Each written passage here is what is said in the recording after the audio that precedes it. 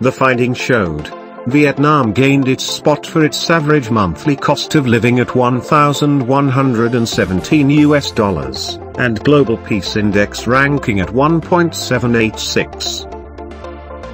Vietnam's cost of living index is a low 24, but its GDP is higher than most on the list, at over 462 billion US dollars, it said.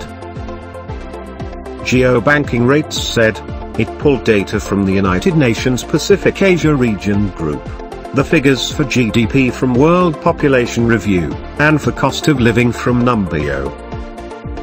It also took into account the Global Peace Index, from the Institute for Economics and Peace Global Peace Index 2022 report.